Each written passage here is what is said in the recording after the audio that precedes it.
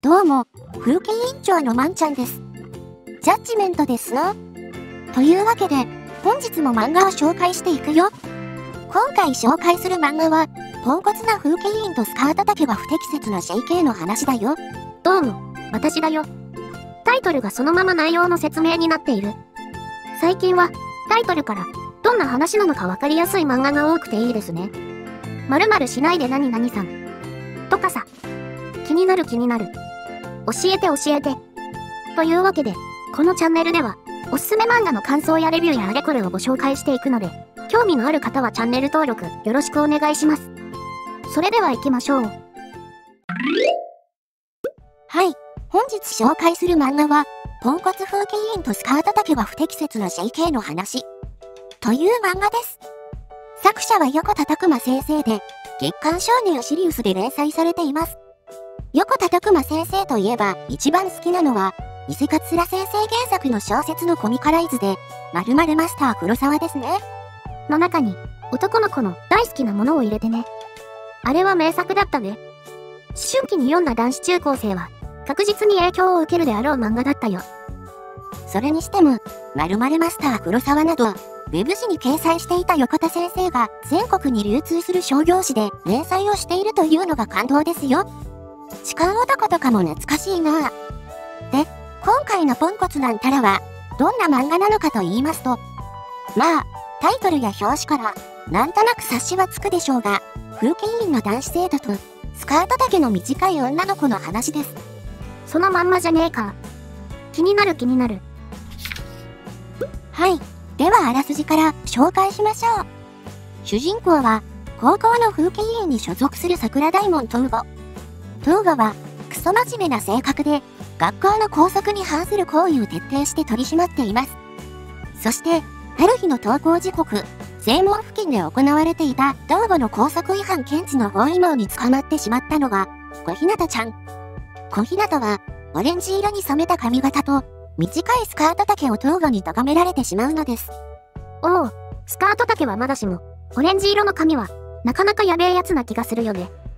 白箱の目盛りとか、オレンジ色の髪で就職面接受けてたし、やはり、オレンジ色の髪のやつはやべえやつだ。まあ、確かにオレンジ色はちょっと、と思うのですが、小日向は、その注意に対して、髪型やスカート丈は、常識的な範囲としか高速に書いておらず、これぐらい最近の JK は普通だ。と言い放つのです。ただ、トゥーガは、注意の手を緩めることはありません。その上、クソ真面目な性格だからか、短いスカート丈の何が問題なのかを正確に追求します。それは、男子生徒の劣情を煽る、率直に言うとドエロいからである、というのです。素直か。確かに、劣情を煽るデザインだとは思うけど、女子高生は、おしゃれの一環でスカート丈短くしたり、髪を染めたりしているんだろうけどね。そうですよね。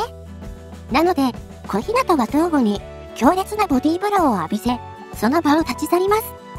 で、放課後、小日向は、見た目通り、授業をサボったりしており、数学の補習授業を受けることになります。そして、補習授業を受ける教室で一人佇む小日向の前に現れたのは、今朝ぶりの風紀委員、桜大門東吾。真面目な風紀委員が、補習授業の教室に、一体、何の用があるのかと構える小日向なのですが、何のことはない、トゥーゴも補習授業を受けることになっていたのでした。えー、風紀委員なのに授業サボったりしてたってこと？いえ、単に、トーゴの学力が著しく乏しいためです。真面目が取り柄の彼なのですが、なぜか勉強だけは全く身につかず、勉強しても勉強しても、一向に成績が伸びないのです。ぽ、ポンコツやな。なるほど。そういうところがタイトルにもあるポンコツ委員長たるゆえんなんだね。そうなのです。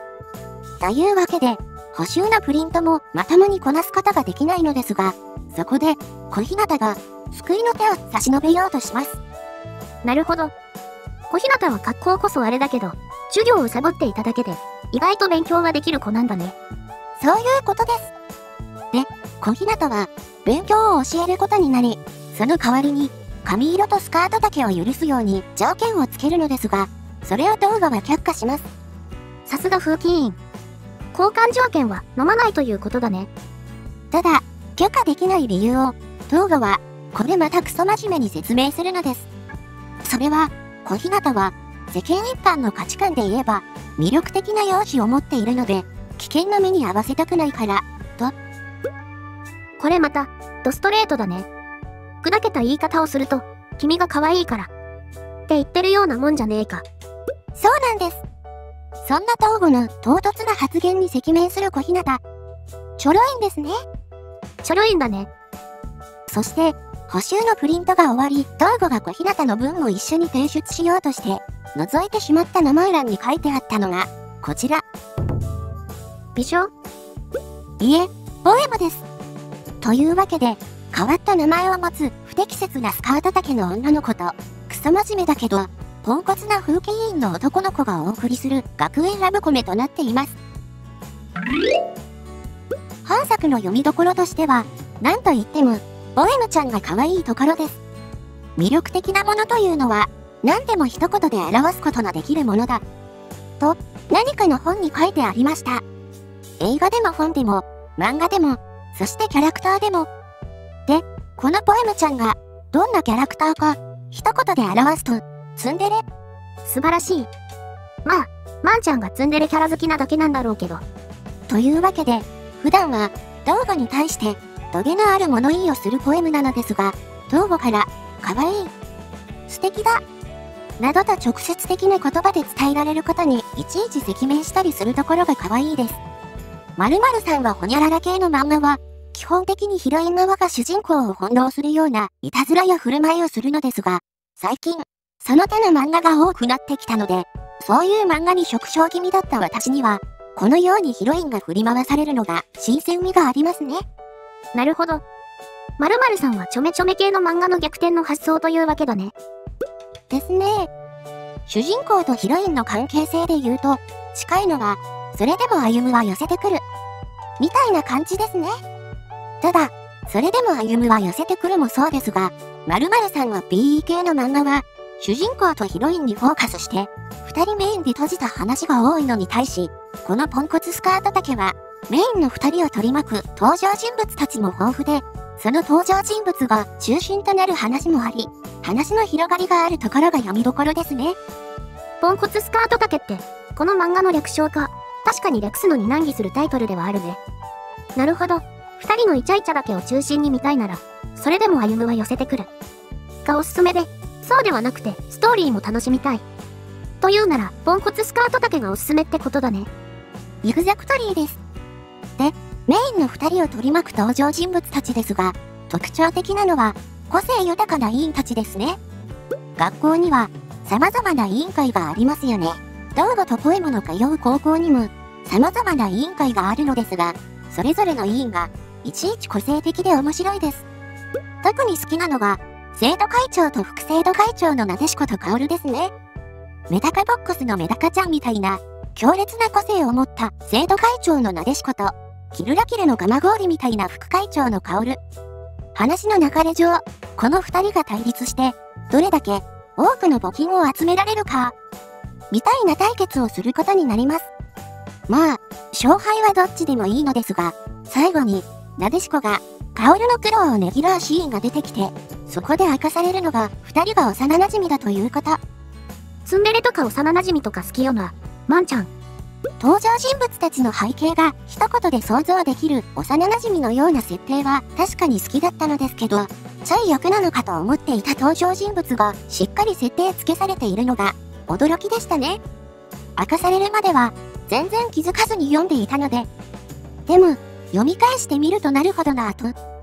本作は、こんな感じで読んでいて、意表をつかれるところが多く、単にゆるゆるしたラブコメかなと思いきや、意外な伏線があったりするのが面白いですね。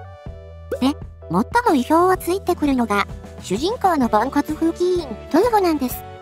タイトル通りポンコツゆえに、トルゴとポエムの関係は、恋愛に発展することはないのかと思いきやーってところで、完全に意表をついてくる展開になるので、いい意味で裏切られました。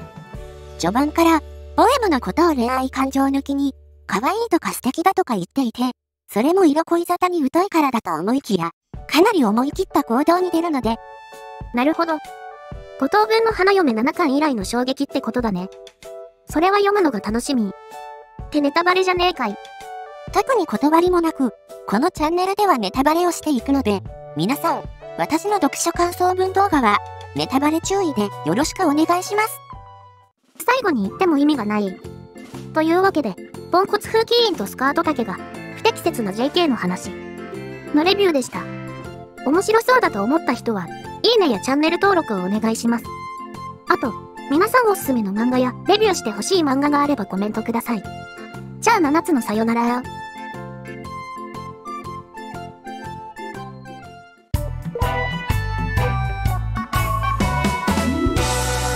動画はこれで打ち切りです。まんちゃん先生の次回作にご期待ください。